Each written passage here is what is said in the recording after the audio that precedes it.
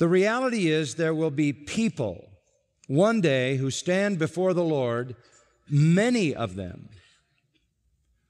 who will assume that they are about to enter heaven, only to be told they're on their way to hell. This is the worst possible illusion that someone can have. To be mistaken about your eternal destiny, to be mistaken about your salvation.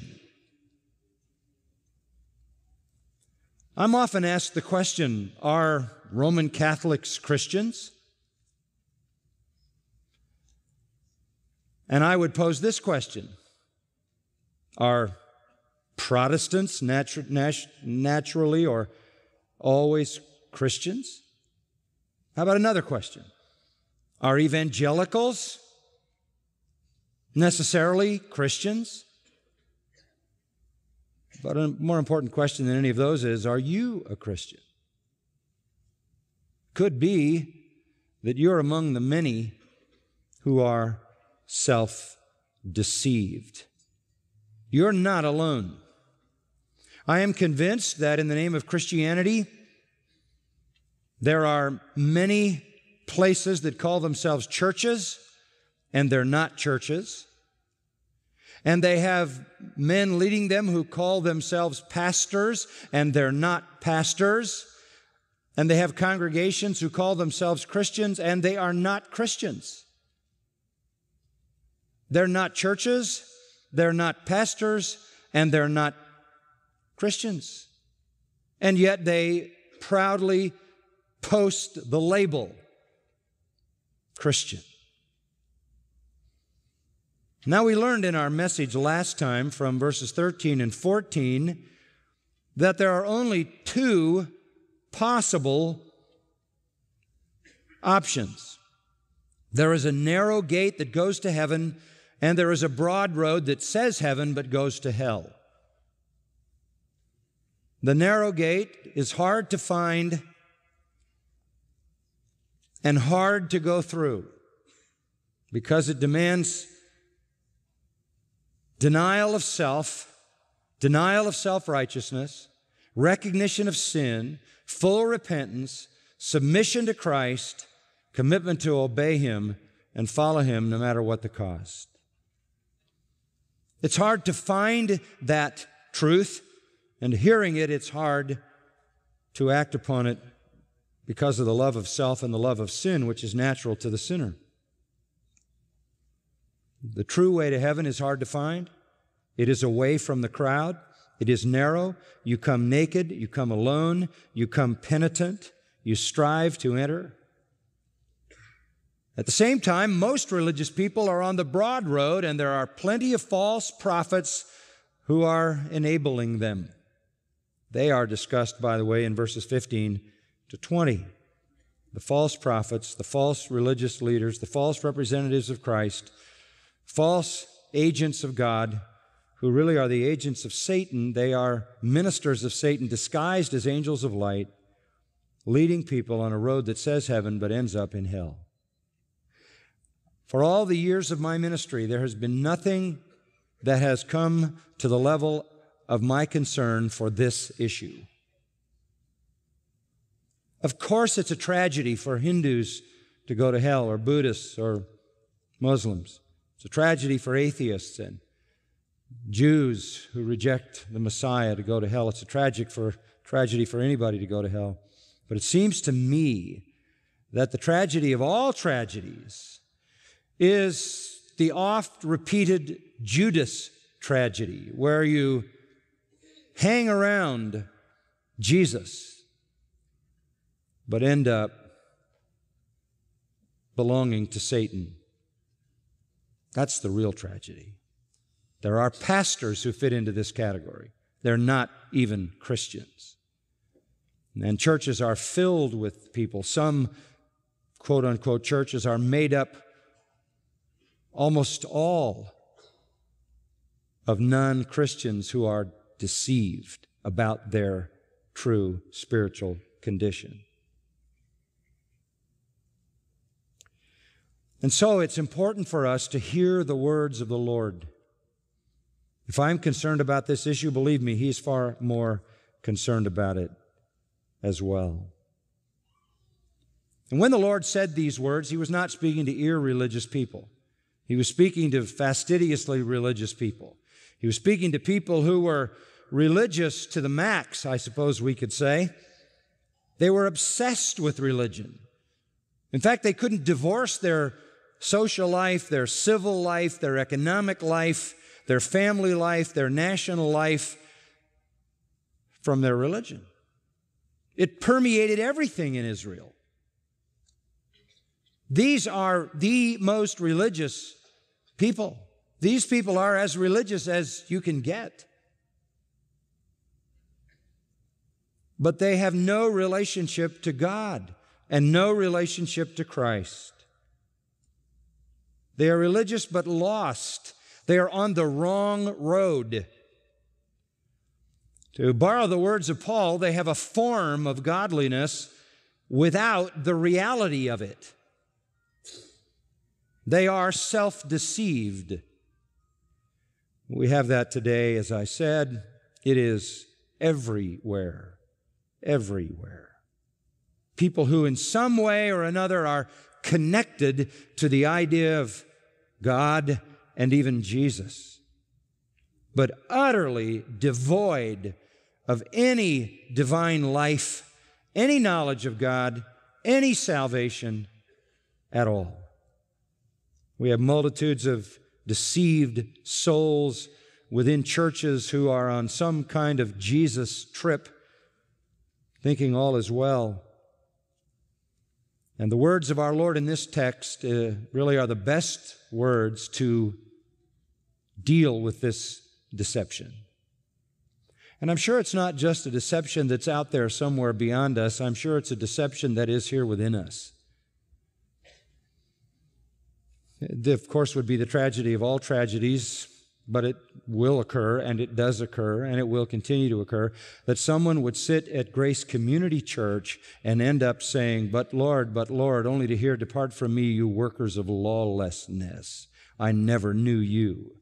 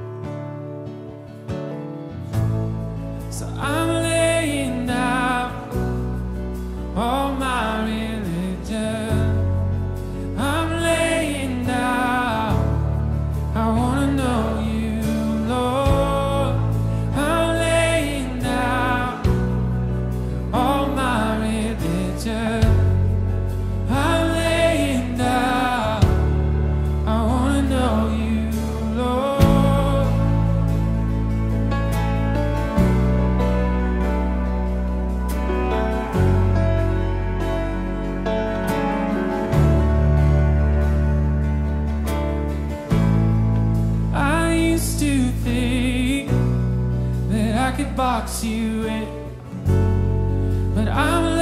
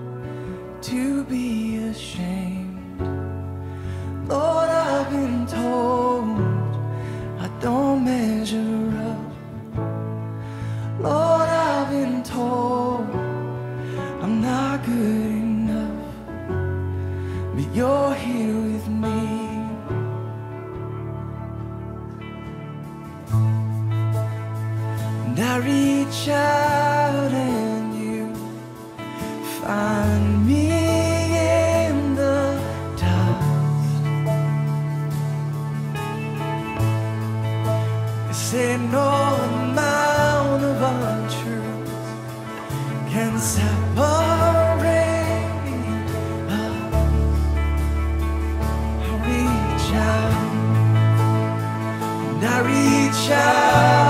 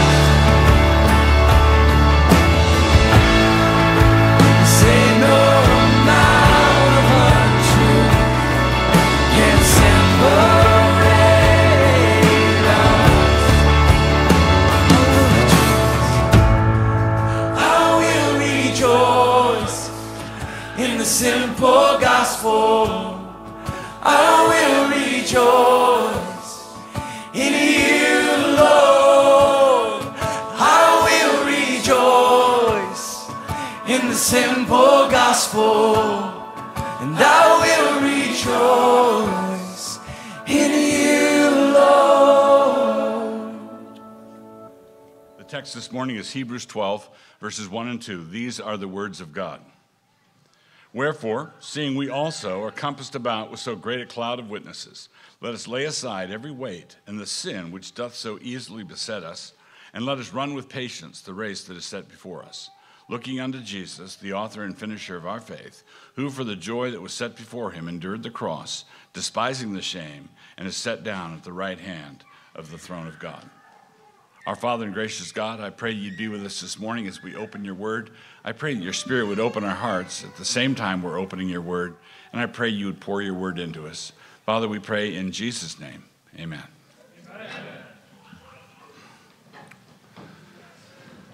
I read Hebrews 12, 1 and 2. My text is mainly the first verse. I, I wanted to read verse 2 so you could see the context of it. One very common problem that Christians have in their Christian lives is the problem of spiritual clutter. That problem is addressed in verse 1. Every weight and the sin which so easily besets us, or the sin that so easily entangles, the problem of clutter. Many Christians don't know what to do with various unresolved sins and problems, and so they do nothing. Over time, these unaddressed problems accumulate, and before long, there is a real mess.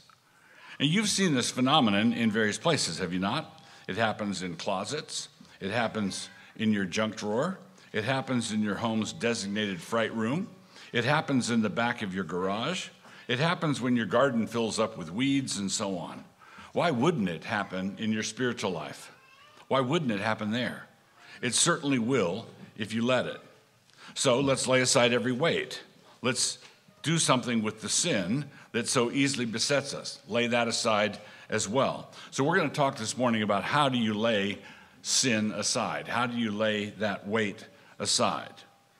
So, one of the first things that Christians need to learn is this they need to learn to deal with the sin of not really dealing with sin. That, that might be, in, in some sense, the primal sin. The primal sin is not dealing with sin. If we're, told to, if we're told to lay aside every weight, then it would be a sin not to. If we're told to deal with the sin that so easily besets, then it would be a sin not to. And this is the sin of not dealing with sin. This is the sin of not addressing sin rightly. So, I want to begin by talking about how important it is to not kid yourself. The first thing to realize about all of this is that confession of sin is an ongoing necessity. It is not an optional activity. I describe the problem as being one of spiritual clutter, but the thing about clutter is that you get used to it. You get used to it as it accumulates. You begin by thinking that perhaps your life is quote unquote a little untidy, and then you move on to excuse the fact that it looks like a bomb went off in your conscience. And by the end of the process, your conscience looks and smells like a closet at the crazy cat lady's house. And you've gotten used to it by increments, you've gotten used to it gradually. This is just the way life is, you think. So, ongoing and regular confession of sin is a necessity for everyone. And we try to mark this liturgically by having confession of sin in every worship service and having it at the beginning of the worship service so that we can wash our hands and before we come into the presence of God, so that we can deal with things on our conscience before we come into the presence of God. But this liturgical confession of sin, uh, uh although we want it to be done conscientiously and honestly on the Lord's Day, that's not the only time we want it done. It's sort of a model for how we ought to be acting all the time. The, the, think of the worship service in many respects as a set of training wheels. The worship service trains you how to praise God. The worship service teaches you how to sing psalms. The worship service should teach you how to confess your sins. So, ongoing, regular confession of sin is a necessity for all. What must you do if you want your garden to be full of weeds? What do you have to do in order to get your garden full of weeds? Do you have to go down to Barnes and Noble and buy a book how to how to have your garden fill up with weeds? No, what you need to do is absolutely nothing. Just let it ride. If you do nothing, you will have knee-high weeds by mid-July. We know that sin can accumulate in just this way because of the way Scripture speaks of it. If we just go on in our own fashion, we will get used to how disheveled we are. We will get used to how disheveled we are. You've probably seen this in um, various circumstances where some homeless guy or someone who is um, completely discomposed, completely out of it, not fitting into society at all, with absolutely no awareness that that's what's going on. Right? He doesn't know how odd it is or how messed up it is. Well, that's not that's not that one weird guy on the bus. That's not the one weird guy on the subway. That's everybody. Everybody does that. Everybody adjusts to the way things usually are. That's this is just the way business is done in this business. This is just the way it is in our office here. Well, this is just how our family is. Now, that's what we're doing is we're getting used to things that God says, God commands us not to get used to them. So, if we look into the looking glass of Scripture, we're going to see there our true condition. The only place we're going to see ourselves accurately is here. If you look in a physical mirror, what you're looking at is something you've gotten used to, right? You, you think it's normal to comb your hair that way because that's how you do it right? And that's what you see every morning. So you, if you look into a physical looking glass, you're just going to see what you've grown accustomed to. If you look into the looking glass of the Word, you're going to see your true condition. You're going to see it the way it really is. Now, you don't, lo- you don't learn your true condition by means of morbid introspection. We learn our true condition through faithful and submissive Bible reading not morbid introspection. Uh, there are some people who, who their, their peculiar form of sin is the, the sin of going into a, a closed room and kicking themselves around, as though Jesus didn't die for your sins. All right, Well, I, yeah, I said that. I shouldn't have said that. I'm gonna, I'm gonna go uh, torment myself for the next three weeks over my loose tongue and how bad a Christian I am. I'm going to kick myself, uh, uh, I'm, I'm going to punish myself, as though God didn't punish Jesus, as though God didn't lay all your sins on Jesus. What you need to do is confess your sin, not try to pay for them yourself, not try to redefine them, not try to hide them, not try to pay for them yourself. So, what we need to do is look in the looking glass of scripture. This is the way James puts it in James 1:25. He says, "But whoso looketh into the perfect law of liberty and continueth therein, he being not a forgetful hearer, but a doer of the work, this man shall be blessed in his deed." All right, so we're commanded to look into the perfect law of liberty. We're commanded to look to the word and we're to do what we see commanded. We're to do what it says to do. If it says to believe, we should believe. If it says to rise up, we should rise up. If it says to forgive, we must forgive. We look into the glass, the looking glass of Scripture, and we do what it says.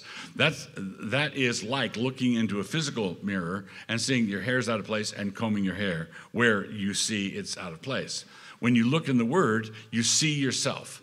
When you when you go into um, a fit of morbid introspection you're not really seeing yourself. You're not you you're abusing yourself but you're not really seeing what the actual problem is. You think the actual problem is you know whatever it was you said that that made your face your friend's face look funny and you know oh you know what i'm talking about the glance the glance with a thousand meanings and and you look at them and you're real sensitive and so you maybe it was this and maybe it was that and maybe they hate me and maybe you know, blah, blah, blah, and down the wormhole you go what, what you need to do is what is your actual sin that you're committing right there? Your actual sin right there is you're trying to be your own very own personal Holy Spirit. You're trying to convict yourself of sin, righteousness, and judgment. You're trying to apply your own holy law to your own condition, and you have no right no right to apply your you have no right to make up laws you have no right to make up, make up a standard and you know have you have no right to condemn yourself who will lay a charge against the lord's elect Who's going to lay a charge against? It's God who justifies. If, if God says no one can lay a charge against God's elect and you're one of God's elect, that includes you. You don't get to lay a charge against yourself either. You, what you want to do is say, okay, I want, in my sanctification, I want to correct the sins I'm actually committing. I don't want to correct the sins that I imagined that I was committing because I'm that kind of person who likes to abuse himself. So you look into the perfect law of liberty. This is why you need to be Bible readers. This is why you need to be regular Bible readers. This is, what, this is why we emphasize in our community the Bible reading challenge. We want people to see themselves accurately. So, no one should ever simply assume that he's quote unquote doing fine simply because the roof hasn't fallen in yet. Psalm 130, verse 3 says, If thou, Lord, shouldst mark iniquities, O Lord, who shall stand? If God decided to really come after you and find fault with everything you did wrong in a given day, th- might He find something? Right? If God were to mark iniquities, if God were to get out a red pen and say, "I'm going to mark up your paper, the, the paper you turned in today, and I'm going to mark it up savagely," do you think you'd be able to find? Do you think there'd be any red ink on any of our papers? Well, yes. Lord, if you should mark iniquities, who shall stand? Scripture tells us our true condition if they sin against thee, this is Second Chronicles 6:36. If they sin against thee, for there is no man which sinneth not, and thou be angry with them. Also cross-referenced in Job 4, 18 and 19. The Apostle John sums all of this up in 1 John 1, verse 8 and verse 10. If we say that we have no sin, we deceive ourselves, and the truth is not in us. That's verse 8.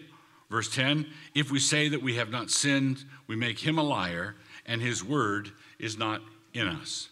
So, verse 8 if we say we haven't sinned, we deceive ourselves. That means that we are the liar and the lied to. We are the liar and the lied to. We deceive ourselves, and the truth is not in us. And if we say that we've not sinned, we make him a liar because he says that we have sinned.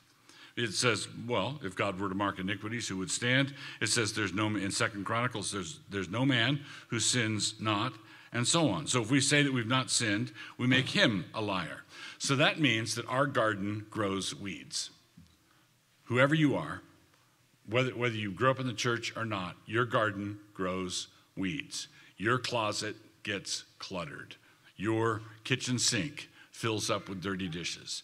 What you live in this world, do you not? And if you live in this world, then this is an ongoing reality. And that means you have to deal with it. And the difference between someone whose Christian life is in order and someone whose Christian life is not in order is not that one sins and the other doesn't sin. The difference between them is the, the Christian life, the, the Christian life that is in order is the Christian life of someone who deals with sin when it happens, who picks up when it happens, who addresses it right away. So, there's an ongoing need. Suppose a young man is learning how to do maintenance on his car and he's told to change his air filter every 12 to 15,000 miles. And then suppose he were to ask his instructor, the, the person who's teaching him engine maintenance, he were to ask his instructor whether he would still have to do this if the filter hadn't gotten dirty yet. Do I still have to change the air filter if it's not dirty? The problem with this young man is that he doesn't know what kind of world he's living in. The problem is not that he doesn't understand cars, the problem is he doesn't understand the world. You need to understand the world. Your hands get dirty. Your life gets dirty. Your life gets cluttered. You don't make every decision right. You respond wrongly. You, you have an, uh, an attitude well up in your heart that shouldn't be there. And that, all of that clutters it up. All of that accumulates. All of that gets to the point where after a week and a half of that, you're grumpy at everyone and don't know exactly why. Right? Well, it's because of the condition, uh, the condition of the living room you're trying to live in. So, what to do? The way to deal with the effects of such accumulated guilt through sinning is by means of confession. Now, there's an important distinction to be made here, and I hope to jump up and down on it. The verse right in, I read 1 John 1 8 and 1 John 1 10. The verse right in between those two verses says, If we confess our sins, he is faithful and just to forgive us our sins and to cleanse us from all unrighteousness. 1 John 1 9. If we confess our sins, he is faithful and just to forgive us our sins and to cleanse us from all unrighteousness. Now, this is a glorious promise, so let's take a moment to consider it very carefully.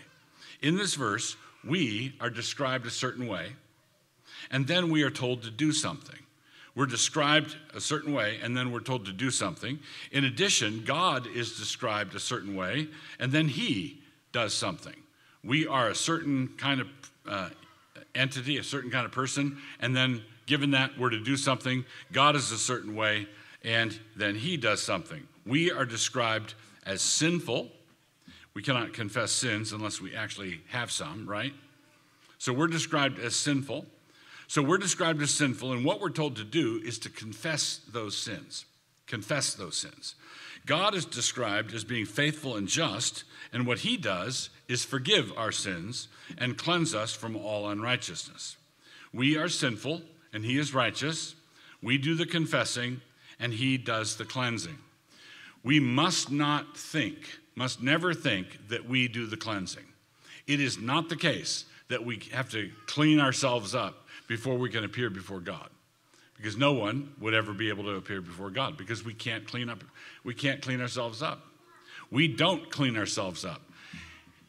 If we confess our sins, he is faithful and just to forgive us our sins and he does the cleansing and cleanse us from what? Cleanse us from all unrighteousness. We do the confessing, he does the cleansing. When we confess our sins, we are not cleaning up. When we are confessing our sins, we are asking someone else to clean us up. When we confess our sins, we are not doing the cleaning. You make a mess of something. You let's say you uh, you uh, left the water on uh, when you during a cold snap and did, not turn the water off and you're going to be out of town the pipes froze then it thawed then everything flooded and and you come back to a house that's a total wreck and you realize slapping your forehead this was my fault I didn't do this. I was reminded three times to turn, you know, to turn the. I was I was reminded three times to deal with this, and I didn't. And I've got a, I've got a total mess here in my house. Confession of sin says this is my bad, but you're not ServiceMaster. Right? You call service, you confess, you call them up and say, I did a really bad thing and my house is destroyed. Would you come and deal with it? Would you come and fix it? Would you come and address it? You don't do the cleansing. You do the confessing. Now, if and the, so the position that we're in when we when our lives don't get cleansed, uh, don't get cleaned up, is we we want somehow ServiceMaster to come in and, fix everything without calling them. We want them to anticipate what happened. We want them to come, and we want to be able to save our pride and say, "Man, don't tell him what happened." I, aliens. I think it was aliens. and we, so we're the woman you gave me. She gave me the fruit. The serpent begot me. You know, all this sort of stuff. But what God says, if we confess our sins, He is faithful and just. We confess. That's what we do. We confess. So, what is it to confess then? What is it to confess? The Greek word that is rendered here as confess is homologeo. Homologeo. And it, it's a very interesting compound word. The first part, hama, is the Greek for same. It's the Greek for same. The logeo is a verb that means to speak. So, homologeo, um, homosexual means same sex, homosexual, same sex. Hama means same. Logeo uh, is the verb form, logos is the noun form. So logos is the word, logeo is to speak the word. So homologeo means to speak the same thing, to say the same thing, to speak the same thing. So if we put them together, this means to acknowledge, to speak the same thing. If, if scripture calls something a lie and you call it a mild prevarication, then that is not confession. If Scripture calls it adultery and you call it infatuation, then that's not confession. If Scripture calls it theft and you call it requisitioning, then that is not confession. The reason it's not confession is that it is dishonest. Now, in the call to worship, um, you were reminded that this worship service is for kids. And this message on confession of sin is not just for the adults, it's for kids. Kids lie about their siblings, don't they? Kids don't tell mom the truth when she asks who did this. Kids sometimes help themselves to money out of mom's purse. Kids in doing their schoolwork can cheat on their schoolwork. All of these are sins. And God requires every baptized Christian to do the same thing with their sins, which is confess them. Right? You confess your sins. And you confess it using the same name that God uses. What would God call this? and then you call it the same thing. What, what does God call this, and you call it the same thing? So the central issue in confession of sin is therefore honesty. That's the central issue. Confession of sin is something is neither more nor less than honesty with God. That's what it is. He that covereth his sins, it says in Proverbs 28, Proverbs 28, verse 13 He that covereth his sins shall not prosper, but whoso confesseth and forsaketh them shall have mercy. He that covereth his sins, that's the dishonesty, he that covereth his sins shall not prosper. Adam hiding in the bushes. He hears the Lord coming, Adam hides. That's the, that's the first reflexive move that a sinner makes nobody knows about this. Nobody needs to know about it. Nobody. This is this is uh, this is just me. I, I have to work through this. I realize this is not.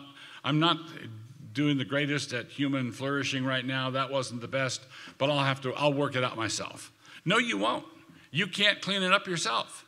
And you're doing the very thing that is antithetical to God cleaning it up because you're refusing to acknowledge, refusing to confess. He that covereth his sins shall not prosper. And God, God is the one who prospers us. And that means, and he sees everything. God is the one who dispenses blessings or not. God is the one who blesses and curses.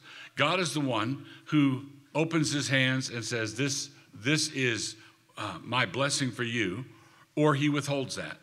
And he's, he's the one who does that, and he's the one who knows whether or not we are covering our sins in a dishonest way. What we have to do is honestly bring them to Him, and then He covers them in an honest way. Because the blood of Jesus Christ is an honest covering. The blood of Jesus Christ tells the truth about the world, tells the truth about Jesus, tells the truth about God, tells the truth about everything.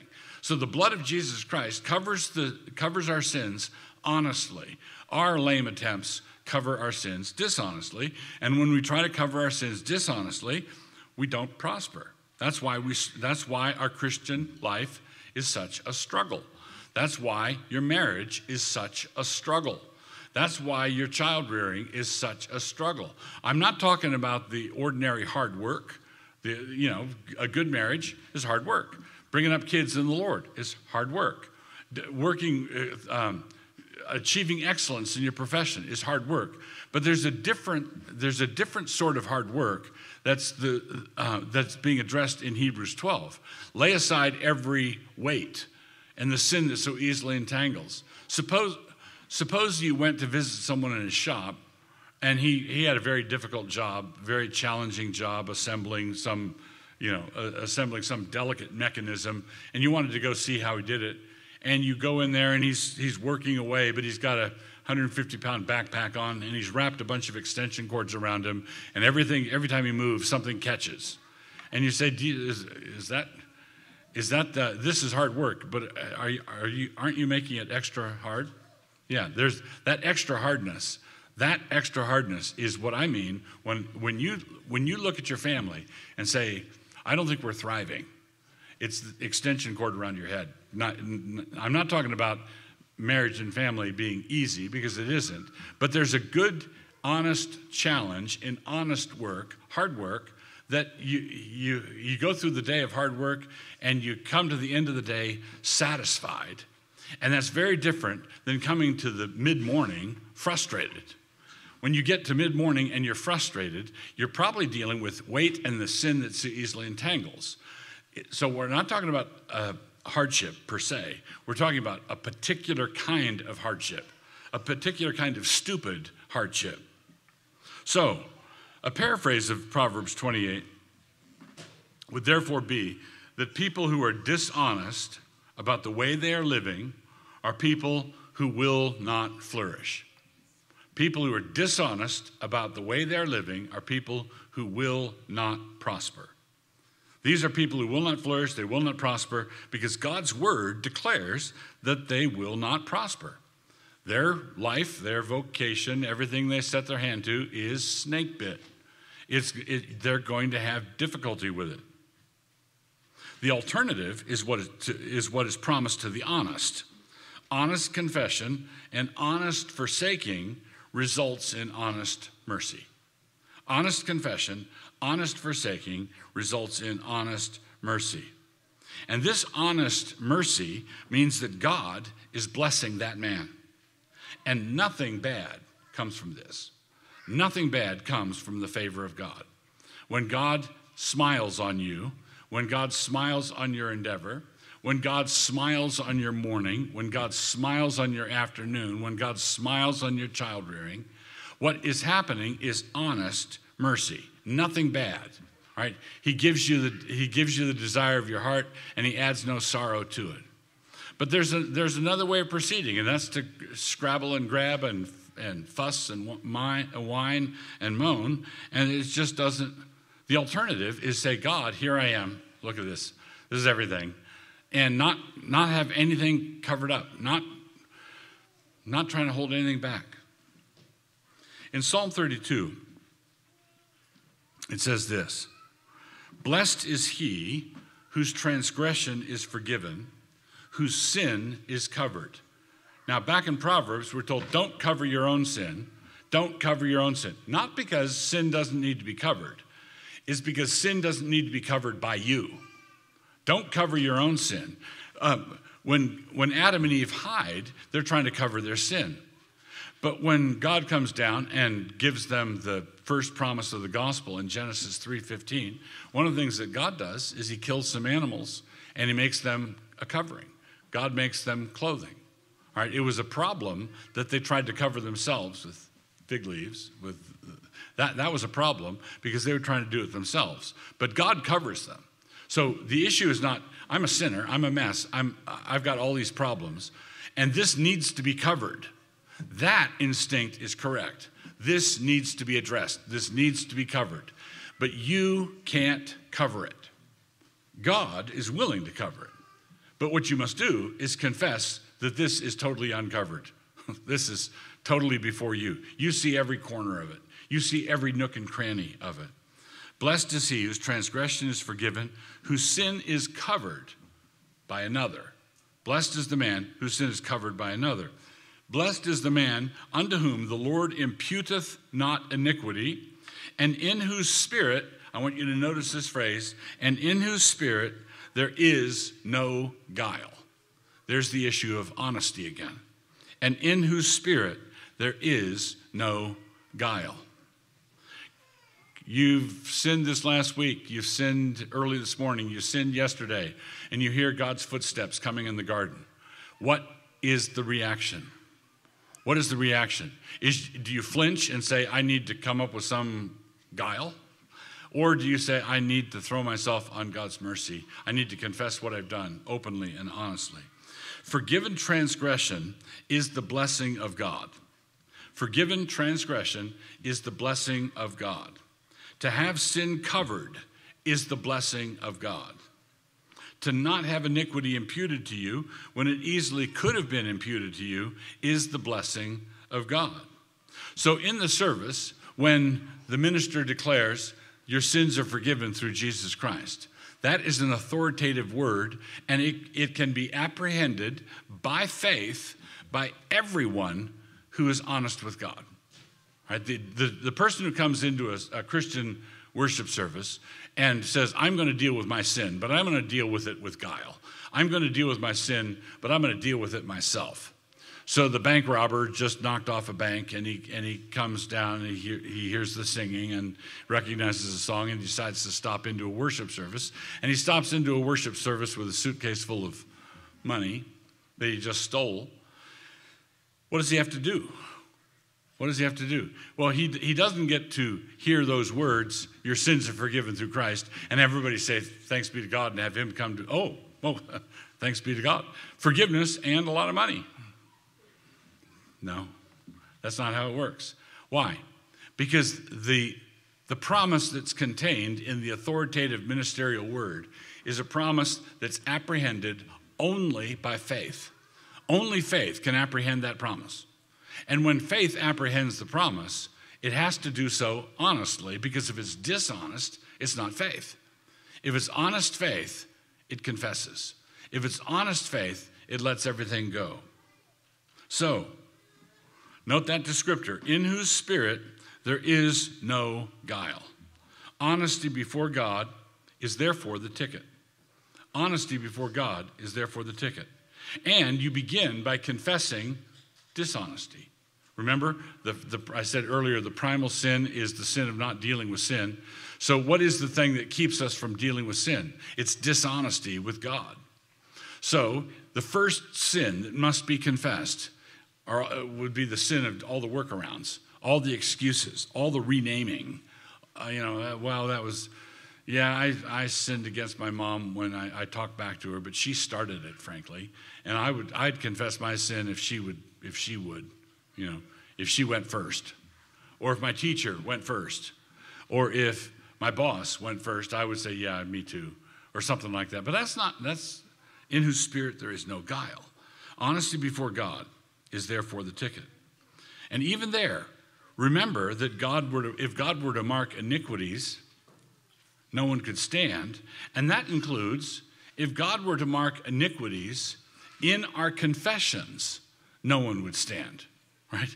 I said earlier, if God decided, I'm going to grade this paper harshly, you, it, you, know, whatever paper you turn in, if God said, I'm going to grade it harshly, all of us would have bleeding red all over it, right? But that includes the paper that we turned in confessing our sins. You know, this is, here's my confession of sin paper. If God were to mark iniquities there, am I toast? Am I hosed? Yeah, yeah. If God were to mark iniquities in our confessions, no one could stand. And this is why, in the next verse, I, have been in 1 John 1, at the tail end of 1 John 1. What does it say at the beginning of 1 John 2? My little children, these things write I unto you, that ye sin not. And if any man sin, putting you back at the tail end of chapter 1, if any man sin, just like 1 John 1 8 and 1 John 1 10 says that you're gonna, And 1 John 1 9 says that you need to confess that sin. If any man sin, we have an advocate with the Father, Jesus Christ the righteous. And he is the propitiation for our sins, and not for ours only, but also for the sins of the whole world. In other words, Jesus has to do your confessing. You can't confess the right way. You can't confess without guile. You can't confess without hedging or trimming or backfilling or waffling or noodling. You know, you you're going to want to, and what you need to do is say, Jesus, this confession of sin paper that I have to write, would you write it for me?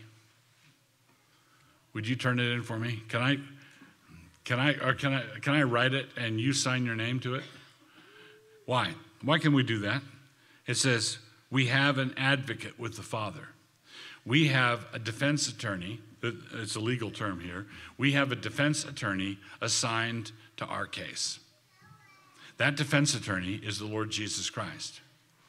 And the defense attorney says, yes, he, uh, this, there are all sorts of uh, problems with this confession if we were to consider it in its own right, on its own two legs. But fortunately for him, that's not how we're considering it. We're considering it as incorporated into and folded into the work of atonement that Christ accomplished on the cross, which it says here, and He is the propitiation for our sins. The word propitiation is, uh, it means the turning aside of wrath. So when Jesus was on the cross in his cry of dereliction, and he says, My God, my God, why have you forsaken me? That moment of desertion where the Father turned his face of favor away from the Lord Jesus. And Jesus felt the abandonment of God. And he felt the abandonment of God because he took your lame confessions onto himself. He took your excuses onto himself. He took all your dishonesty onto himself. He's the propitiation, and, and, he, and he felt the wrath of God. He's the propitiation for our sins, and not for ours only, but also for the sins of the whole world. That's what it means to pray in Jesus' name. That's what it means to confess your sins in Jesus' name. So you're not trying to do it perfectly. You just want to do it honestly. And you, you want to be like the man in the Gospels. Um, Jesus says, Everything is possible to him who believes. And the man cries out, Lord, I believe. Help thou my unbelief. Lord, I want to be honest. Help my dishonesty. Lord, I want to be open. Help my, my guile. Lord, I want to be I want to do this right, and I know that I can't do this right, and I know that if you forgive my sins, you're going to cleanse me from all unrighteousness. But this can only be done in Jesus Christ. And when it is done in Jesus Christ, the end result is forgiveness. Blessed is the man to whom, um, as it says, blessed is he whose transgression is forgiven, whose sin is covered. It's all Jesus, all Jesus, all the time. So we're Christians. That means we have to worship God in, in Jesus' name. We confess our sins in Jesus' name. We take the Lord's Supper in Jesus' name. We baptize, as we did this morning, in Jesus' name. We, we do everything we do in Jesus' name. In Jesus' name means that everything is covered the right way. Everything is covered the right way. But what's necessary is for you to recognize that that's the only way it's going to be covered the right way and abandon every attempt to cover it yourself. That's what, that's what confession of sin amounts to. And when that starts to happen, when that catches fire in any community, that is what revival looks like. Our Father and God, we thank you for your kindness to us. We thank you for all that you've given us in the gospel. We thank you for the grace that extends to us the invitation to confess our sins. I pray, Father, that we would learn to do this and that your Spirit would teach us. As we offer up this prayer, we would uh, also pray to you the words that Jesus taught us to pray, saying, When Christ established this meal with his disciples, he also did something else that evening in the upper room. He rose from the table, laid aside his outer clothing, and tied a towel around his waist. He then poured water into a basin, began to wash the disciples' feet, wiping them dry with a towel wrapped around him. He took the place of a servant. But when he came to Peter, the disciple objected, saying, You shall never wash my feet. And Jesus answered Peter, saying, If I do not wash you, you have no part with me. Peter felt that there was something deeply wrong with allowing Christ to serve him. And in one sense, he was most certainly right. But he still did not yet understand the story he was in and what else his servant was about to do on his behalf. And like Peter, we too can balk at Christ serving us. We are often embarrassed to be approached by him. What if he knew that thought you had earlier? What if he heard those careless words you spoke to your spouse, the impatient cursing under your breath? Surely, if he knew what a mess you are, he would not want to serve you. And yet, Christ knows it all. He knew the weakness of his men that night and how they would desert him. He knew their sin, and he still washed their feet and dined with them. He still suffered and died for them and for you. So let go of your sin. Let go of your vain pride. Christ has taken care of it all. Do not look at yourself now to see if you are worthy, and instead look to him and this table he has prepared for you. And come and welcome to Jesus Christ. The charge is this we, tr- we like to tell ourselves that, well, we'd love to have our lives in order again. We'd love to have everything put back together, but unfortunately, it depends on things that, we, that are just beyond us. They're, I can't do it, I'm, I'm not up to the challenge. But the real problem is not that God asks you to do things you can't do, it's that He's told you to do something you don't want to do. That's the, that's the hitch. That's the problem. Because He does all the hard lifting, He does the forgiving, He does the cleansing. What we do is the acknowledging. And that's, that's, that's simply it acknowledge, acknowledge, acknowledge. So, with believing hearts, go with the benediction of your God. Now, to him who is able to do exceedingly abundantly above all that we ask or think, according to the power that works in us, to him be the glory in the church for Christ Jesus to all generations, forever and ever. Amen.